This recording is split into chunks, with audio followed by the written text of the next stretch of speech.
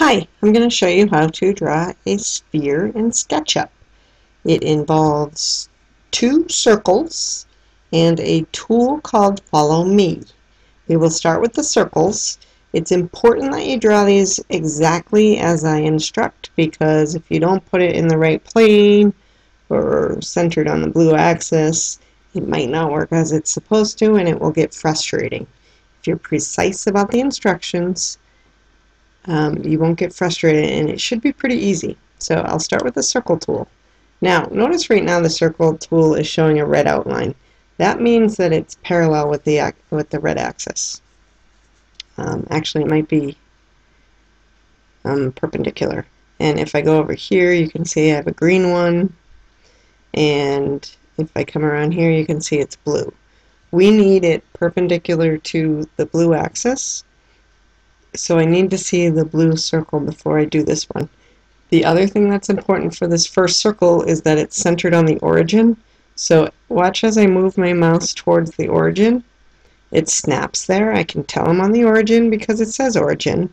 You can also see a yellow dot there. So now that I'm on the origin and it's perpendicular to the blue axis because the outline of it is blue, I'm going to go ahead and draw it by dragging out. And that's all I need to do there. Your second circle needs to be on the blue axis. Two things. On the blue axis, I can tell it's on the blue axis right now because there's a red dot snapped to that blue axis. The other thing is it has to be drawn from the red or green perspective. Right now I'm seeing that if I draw it, it will be perpendicular to the green axis, so it's okay to go ahead and draw it now. So I'm going to drag out. The size of this circle will define the initial size of your sphere, which of course can be changed with the scale tool. So it's kind of important, but it's easy to change. So I have the two circles I need, one on the ground and a perpendicular one that is on the blue axis. The next thing I'll be using is the Follow Me tool. The Follow Me tool does not show up here automatically because SketchUp doesn't show you all of the tools in this tool set. If we go to View, Toolbars, enlarge tool set, we now see a whole bunch of other tools here. This one right here is called Follow Me. I'm not going to click it yet because I don't want to use it until I've selected the edge of the circle on the ground. So I'm going to switch to the Select tool. I'm going to go to the circle on the ground and click the edge to select it. You can tell it's selected when that edge turns blue.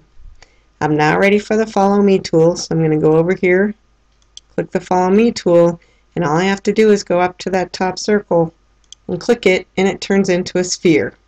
It has a warning here, but you don't need to worry about that. Um, and it disappears, so now I'm really not worried about it. Uh, now that we have our sphere, we don't need this circle on the bottom anymore. I'm going to take my select tool and double click and hit delete and that's gone.